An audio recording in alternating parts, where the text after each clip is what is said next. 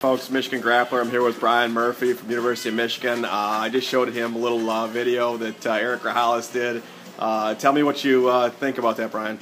Oh, well, you know, he might be talking about my dancing, but, uh, you know, Eric really likes to listen to that Beethoven kind of stuff, uh, and that really gets those stubby little legs moving for him. And uh, so I, I would have to disagree with him and say that he's a, definitely the worst dancer. Is that why he's in such good condition? Yeah, because he's because he's dancing all the time. Yeah, I know. Yeah, that's why he's got those little chicken legs, you know. So, Anything else? That's all. That's all right. All. Thanks, Brian. All right.